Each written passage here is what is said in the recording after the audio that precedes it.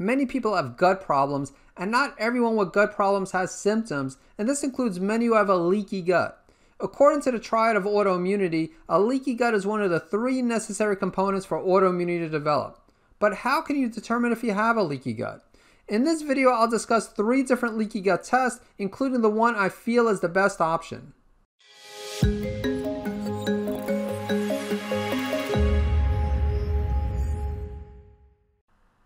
Before I begin, I just want to remind you that the main reason I put together these videos is to help people with different types of autoimmune conditions and other health issues better understand their test results so that they can find or remove their triggers, correct any underlying imbalances, and feel great again. First, let's discuss some basics about leaky gut testing. And to learn more about leaky gut syndrome and how it relates to autoimmunity, please watch my previous video and I'll include a link in the description below. It's important to understand that most conventional medical doctors don't do any leaky gut testing, and even most gastroenterologists don't test for a leaky gut. So if you want a leaky gut test, you probably will have to go through a natural healthcare practitioner.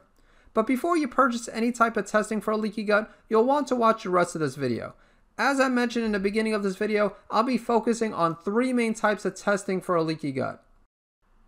The first test I'm going to discuss is the lactulose mannitol test, which is a urine test that requires someone to swallow a sugary solution of lactulose mannitol. Lactulose is a larger molecule and therefore it's poorly absorbed in someone who has a healthy gut. As a result, if someone who does this test has high levels of lactulose in the urine, then this usually indicates that they have an increase in intestinal permeability.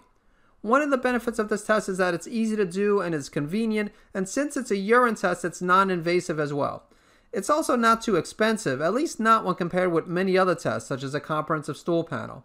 However, a downside of the lactulose mannitol test is that a negative result does not rule out a leaky gut. So here we see the lactulose mannitol test. And just a reminder, an increase in intestinal permeability is synonymous with a leaky gut. So this actually represents a normal lactulose mannitol test. And the main value you want to pay attention to is the lactulose percent recovery. And so ideally you want it in the green, but yellow is acceptable. If it was in the red, it would be elevated and this person would have an increase in intestinal permeability, which would mean that they have a leaky gut. The next test I'd like to discuss is the array number two from Cyrex Labs, which is also known as the intestinal antigenic permeability screen. So this is a blood test and it measures a few markers associated with the leaky gut, including actomyosin, occludin zonulin, and lipopolysaccharides, also known as LPS. And I'll show an example of this test shortly. I really do like Cyrex Labs as they are a good company with good reproducibility of their tests, which of course is important with any lab. One of the main downsides of this test is that you need to visit a lab that works with Cyrex Labs, although this usually isn't too big of a deal. Another downside is that if someone has depressed immunoglobulins, then this can cause a false negative result. However, you can always get the serum immunoglobulins tested before doing the array number two, and you can do this at most regular labs, including LabCorp and Quest Diagnostics, and I'll include a link to this type of test in the description below. So here we see an actual report of the array 2, or again, the intestinal antigenic permeability screen. And so we could see again, there's three different markers. There, there's actomyosin IgA. And then for these other two, occludin zonulin and lipopolysaccharides, they test the IgG, IgA, IgM marker for each of these. And in this case, we see that two of these values are clearly elevated. And pretty much all you need is one of these values to be elevated to confirm the presence of a leaky gut.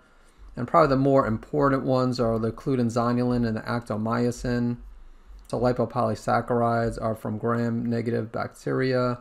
And usually when you see this on the test, it's indicative of leaky gut, but in some cases maybe not correlated with a leaky gut, doesn't always confirm a leaky gut. So if I just see LPS positive, I still will assume the person has a leaky gut, but definitely if you see occludin zonulin or actomyosin positive, then person without question has a leaky gut.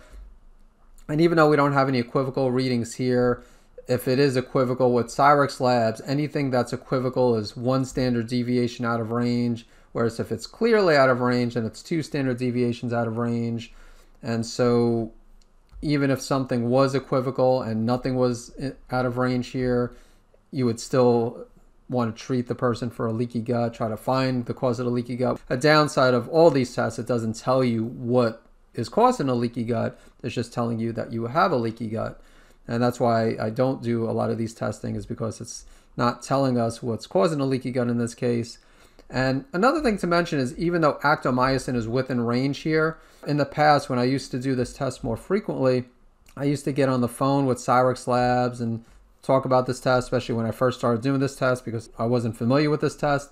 And they would tell me that even though the range for actomyosin is between 0 and 20, anything over 10, they would still suspect a leaky gut. And usually, the most common cause of elevated actomyosin is exposure to gluten. And once again, even though this is an elevated, if both of these were negative, even though this is in range, they would tell me, or at least in the past, they would tell me to still support the gut and make sure that the person is avoiding gluten. So here we see another intestinal antigenic permeability screen. And so here, here's a good example where we don't see anything out of range, but we see three markers that are equivocal. And we see one of these is associated with occludin zonulin. These other two are associated with the lipopolysaccharides. And so actomyosin here, you can see less than 10. So as I mentioned, with looking at the other report, since that was above 10, even though it was within the range, they still would consider that to be, let's say, greater than optimal, out of the functional range.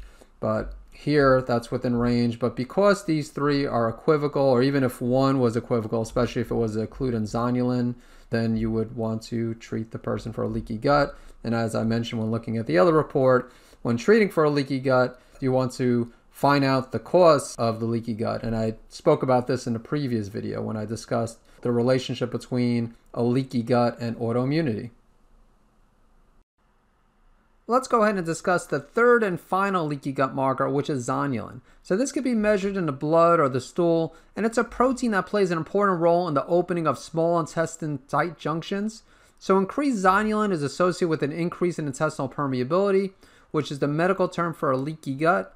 So zonulin is a marker of gut wall integrity, and when the gut barrier is compromised, this can make someone more vulnerable to food antigens, infections, and certain chemicals. And one of the benefits is that zonulin is easy to test for if someone is already doing a comprehensive stool panel, as it is an add-on with certain labs.